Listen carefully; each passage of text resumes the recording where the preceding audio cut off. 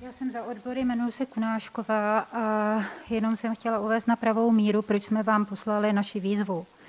Naposledy, když jsem mluvila na interně s doktorem Husákem, tak mi řekl, že oddělení od poloviny měsíce nebude přijímat nové pacienty, protože od eh, prvního devátý tam budou pouze tři. Na chirurgii leží pět pacientů a roví lékaři odchází. Když jsem se kohokoliv ptala, nikdo mi nebyl neschopen na nic odpovědět. Tak jsme se zeptali vás a zdá se, že vlastně jsme udělali hroznou chybu. Ovšem já si myslím, že odborová organizace na to má právo a může se pravdu dovědět, byť takovýmto způsobem, ale ještě doteďka jsem nepochopila, jak to bude od 1. září s pacienty. Děkuji. Odpovím eh, jednak eh, na, na, váš, na vaši připomínku ohledně podnětu, o kterém již hovořil i pan ředitel v úvodu. Nikdo samozřejmě nespochybňuje vaše právo se zeptat na cokoliv se týká zejména oprávněných zájmů zaměstnanců a obav o jejich možné Eh, možné, eh, možnou ztrátu zaměstnání například eh, na stav nemocnice. Nás na tom zarazilo několik věcí, které jsem se snažil paní Valchové bohužel marně vysvětlit, že pokud odborová organizace osloví jménem odborové organizace, předpokládal jsem, že to je jménem celé odborové organizace a nikoliv výboru odborové organizace, přičemž řada odborářů o vašem podnětu vůbec nevěděla. Takže to je první věc. Tam nejde o to, že byste museli mít souhlas to, jestli se nás můžete zeptat, jaká je situace nemocnice.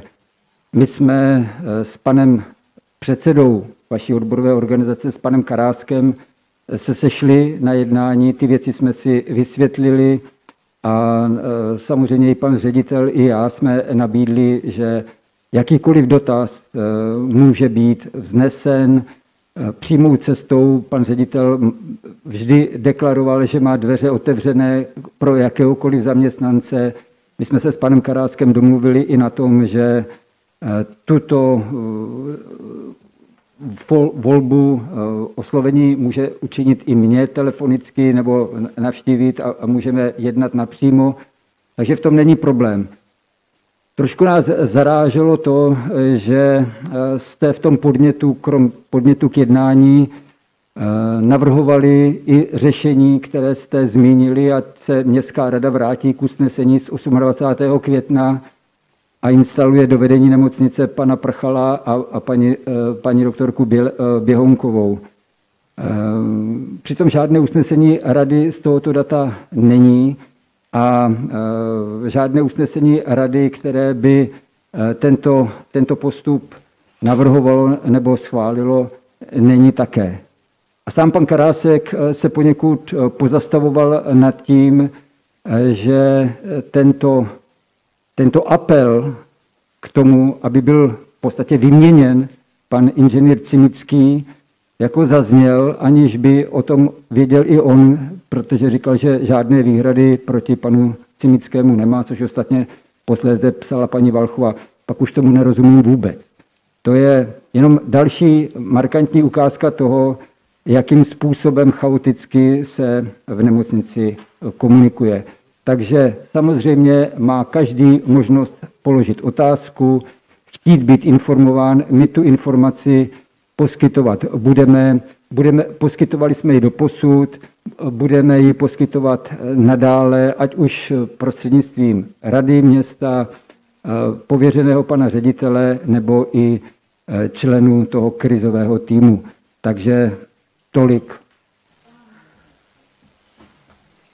Je pravda, že jsme hovořili s paní primářkou Běhonkovou a ona řekla, že pokud by došlo k tomu, co údajně, teda já jsem u toho nebyla, navrhovala vám, opakovaně byla u vás na jednání, že by je udrželo v pracovním procesu AROR lékaře a interní lékaře.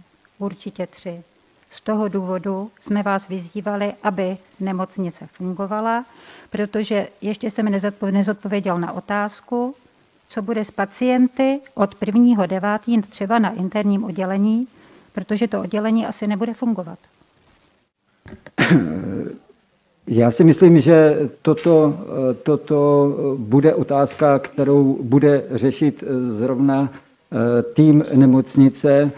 My nejsme přesvědčeni o tom, že by, že by oddělení nemělo fungovat. Hledáme řešení tak, aby i v tom omezeném režimu nejen chirurgie, ale interna fungovala. A vlastně ano, je dnes abych se zase nespletl a neposílal to do března, tak máme dneska 9. srpna a do 1. 9. nechť ne, pracuje tým na, na řešení. Je to tým, který bude řešit tu situaci i s vámi, se zaměstnanci nemocnice. A já na rozdíl od některých lidí nevidím tu situaci tak, že by žádnému zvratu k žádné situaci, která, tu situaci, která, která ten stav v nemocnici změní, nemohlo nastat. V tuto chvíli vám na to nedokážu odpovědět. Eh, já si myslím, že eh, tým vedení nemocnice s interim týmem ovšem bude hovořit a bude se eh, setkávat s jednotlivými primariáty, jednotlivými odděleními a tu situaci tam bude řešit. Takže věřte, že se těmito lidmi potkáte a budete možnost společně toto řešení ovlivnit.